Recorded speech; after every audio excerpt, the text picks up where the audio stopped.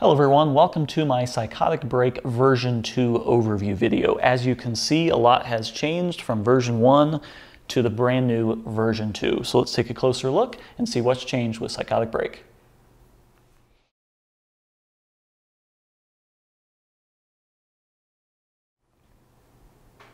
I've been working for the past few months making changes to the original version 1 design to come up with this version 2. And if you remember the video that I came out with a couple months ago talking about the planning, um, you can definitely see the geometry difference between the two. They have the same basic construction style where they have an outer frame that sits on the outside, which I kind of call the exoskeleton. This one's carbon fiber, this one's aluminum, and then they have the body that kind of sits in the middle, and then the weapon out at the end. So the general construction is about the same. It's just there's some material difference and some geometry distance. The biggest difference between these two is for version 2, it has been shrunk down and made a lot more compact because version 1 had a real issue with driving because it was just so long. The um, weapon blade is just so far out there. I mean, this thing is like, I think 18 inches tall or something like that. So the length of this made it very difficult to drive and maneuver. So this one just kind of got a lot more stout. The interesting thing about version 2 is that the wheelbase is actually identical to what it was on version 1. The wheels sit the exact same distance out. I basically just cut six, six and a half inches off of this and added the wheel guards on the side. So um, let me get a better close-up shot of this and I'll show you some of the new visual elements of version 2. So here's a little bit better up close look at Psychotic Break version 2. As you can see, it is very, very chunky. The top and bottom frames are both six millimeter thick carbon fiber, so, you know, right around a quarter inch, which is very, very thick carbon fiber. The weapon up here has gone from a 3 16th inch AR 400 up to a quarter inch S7. And this is a much beefier blade, Fun fact, this was supposed to have a disc as well, but the disc ended up being unbalanced and I just kind of ran out of time, so I'm just running with this um, blade right here. Um, but this is about 400 grams on the blade, so it's um, significantly heavier than the previous weapon. The previous weapon was about 300, so this is about 30% heavier than the previous blade and significantly smaller. The other blade was, um, I think, 12 and a half. This is, I think, 8 inches, so it's a lot smaller, thicker, and denser. So this should be interesting. Um, if we look over here at the sides, uh, you can see that we have these wheel guards, which are completely removable. There's a screw on top and bottom, and top and bottom, and these completely remove. So these are mostly sacrificial. And the body comes down below the frame here, but the wheel guards actually extend up over to protect this whole side of the bot. And you can kind of get a better look at them like that. So these whole things just come off. There is also a dead shaft inside that helps stabilize the wheel. Now in terms of materials, six millimeter carbon fiber on top, hardened S7 up here, the wheel guards on the end, this is nylon X, so glass reinforced, um, I'm sorry, carbon fiber reinforced nylon. And then the gray body here is nylon G, which is glass fiber reinforced carbon fiber. And then the hub motor up front here is machined 6061 aluminum. So yeah, it kind of gives you an idea of some of the materials here. So here is a better look at the back. I'm doing kind of the same thing that I did on version 1 with these switches. So I've got an LED and then the power switch over here just kind of integrated into the shell. The shell is once again two pieces and there is a seam down the middle here, and there's just kind of an indicating locating pin here, and then, you know, in other places, I'll show you that when we take it apart. But you basically just got the power switch and the LED integrated into the back with kind of all these facets and stuff. Now, if we flip this over and look at the upside down, or the bottom side, you can see that there are magnets on the bottom. This is to help improve traction. Um, I have the ability of doing just two uh, two in back, two up front, or I can do all four. And if weight allows for it, there are even provisions for some up top, and I have the same cutouts on top. Now the magnets do not attach to the frame, they actually attach to the body. There are brass inserts on the inside of the body, and it screws through the frame and into the brass inserts in the body. So that's kind of interesting. The frame actually doesn't house the magnets themselves. So yeah, that is what the underside and the back looks like. So let's start taking this apart.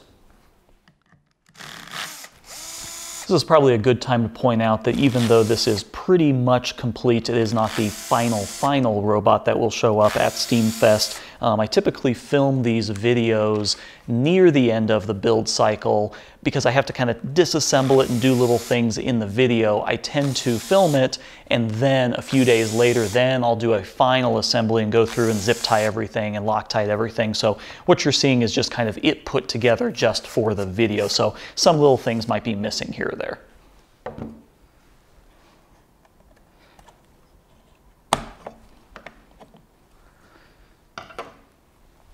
So this is what it looks like when the top frame is removed. Um, up front we have the hub motor. You can see that there's no belts. Uh, the motor is not in here. This itself is the motor.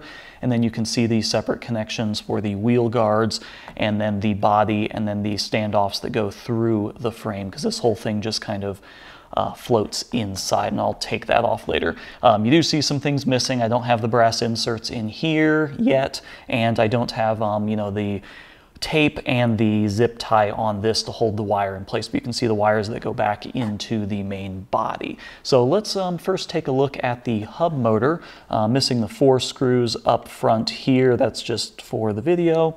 So we have a spacer that spaces the shaft off of the body. This is a 10 millimeter diameter st uh, hardened steel shaft. I forget exactly, just a high carbon steel. I think it's like 54 Rockwell. So this is a very hard shaft. Um, and I drilled and thread milled this to accept um, the quarter 20 screw that is um, going to stabilize this whole thing. Now I do have a different um, screw coming in that has a much wider flanged base to it, so that will help. And then if we take off this little protective cover here, this is just 3D printed um, nylon X, we can see the actual hub motor inside. We have a bearing on the top and then there's another bearing underneath. And I should be able to just pull this out. It's a little tight. There we go. So that comes off with a little bit of force. And um, so yeah, we have the one bearing on the bottom, the other bearing on top. If you want to learn more about this, you can check out my video on hub motors, but this is the hub motor that was featured inside that video. And then the four screws holds it onto the flanged base at the bottom, and then the magnet ring is pressed inside there. And then the only reason I did the bowel hardening on the top of this motor is because these screws that go through this little protective cap right there can kind of get down in there a little bit and I just want to make sure that it doesn't scratch too badly against the surface. So it's just a little bit of epoxy right there on the top. We have another spacer here on top of the motor just to space this off of it. And that's pretty much all there is to the hub motor. On the bottom side, it is just into the frame like that, and then the other screw, and this one will get um, bigger with a bigger flange on it for the final version. So let's flip this over and take off the wheel guard so I can give you an idea what they look like.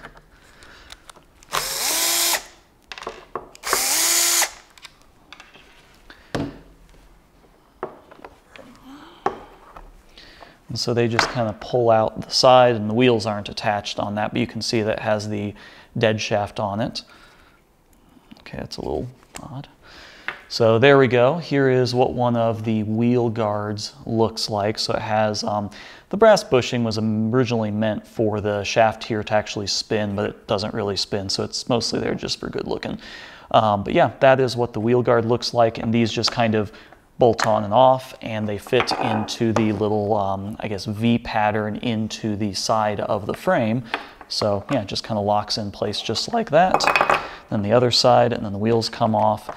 And that is what the body looks like without them in place. And you can see that the frame actually extends past, so part of the reason for the indent on the top and bottom that mates up is so they can actually protect the frame because if you had an undercutter, it could cut like that and then start delaminating the frame so it extends past that just to cover the carbon fiber from being hit. So now with the wheel guards gone, we can just kind of pry up uh, this frame a little bit. There's a couple locating pins that hook them together. And there you go. So there is the top piece. Um, everything in here is symmetrical. So the wheel guards are symmetrical left and right. So the same piece can be used for either side. They just kind of have to be flipped for either side. The top and bottom are identical. That's why the LED and the switch are equidistant away and they have the same mounting so that you can flip them. It doesn't really matter. And then the top and bottom are the exact same as well. So everything is nice and symmetrical, which makes it a lot easier. So this is the inside. There's a little bit of final wiring cleanup that needs to happen. Like I don't have the um, actual motor attached yet because everything's hardwired in here. So I have to solder and desolder it when I assemble and disassemble. Uh, but yeah, this is basically what it looks like inside. Um, we have the frame just kind of floats like I can just kind of lift it straight up um, over top of this. We have the same gear motors that I had previously. They've been squared off so that they fit in these little channels. So now they don't really spin or rotate. And yeah, that's about all there is to it. I'm still using the same electronics as previous. I've got the um, 51A BL Heli 32 speed controller for the weapon, the 21As I believe for the drive, same brushless drive I've always been using, um, same battery, and for the busing of all the power, I can kind of remove this, um, you see that I'm using these um, Wago lever locks in here. They're actually glued down into the frame here and everything just kind of buses directly into it. And here's just a much closer view because people like looking at this stuff for wire routing and everything. Um, the power switch just sits on posts like that. So everything, there's no fasteners anywhere in here. Everything just pops right out um, and everything is just kind of floating in place. So servicing this is nice because you can literally just flip it upside down, dump everything out, do all your fixing, and then just put it all back in, which is kind of cool. Um, power switch in there. Battery takes up the vast majority of the back. Um, you can see there's a little locating pin back here that helps the top and bottom align and also makes it that if you get hit right here, the blow is absorbed by both the top and bottom. We have the radio over here. I've got a little um, BEC or battery eliminator circuit um, right there. That has always been pretty helpful. And yeah, that's about all there is to it. Just kind of move some of this stuff out of the way so you can kind of see what's going on. And yeah, both the top and bottom have this little kind of cutout here in the bottom so that the wires can fish through for the motor. Um, but yeah, that's about all there is to it on the inside. The motors here themselves are fully protected by these little walls. So when the top and the bottom are on there, I don't really have to worry about anything interfering with the um, outrunners here. They'll just kind of be in their nice little cocoons and then the ESCs are over here. So really nothing can um, mess with them, which is kind of nice. They're just fully encapsulated. So I wanted to share one last little modification that I made kind of last minute. This was, you know, one night I had this idea. I didn't really feel totally comfortable just taping and zip tying the wire here. So I 3D printed this little cover out of nylon G and you can see it has kind of a channel down the middle for the wires and it has a bit of a radius to the top and then it has little clips that just kind of clips into the channels here and effectively covers the majority of the wire going down this little channel. And if we flip it around, um, you can see that just kind of clips into the back here and it is really, really on there. It takes quite a bit of force to get this thing off. And then yeah, that's what it looks like. And I actually printed this vertically, so I printed it like this up, and so the layer lines are going like this in the print, so I shouldn't have to worry about it snapping um, as it bends, you know, like that. Um, so yeah, just a nice little um, cable clamp to keep these wires from getting nicked or hit.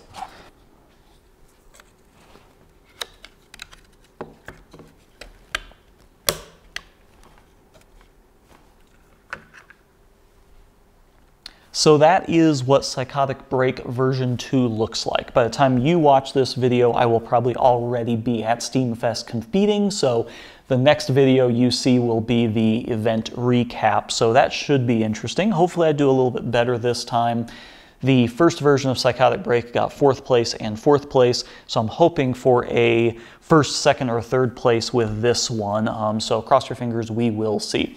I still have a few little finishing touches, um, some screws and some wiring on the inside and stuff like that, but we'll see where that goes. Um, in terms of the wheels themselves, I am using the Fingertech foam wheels again. We're gonna give that one last shot and see how that works. I will be coating them in a liquid latex to hopefully get a little bit more traction.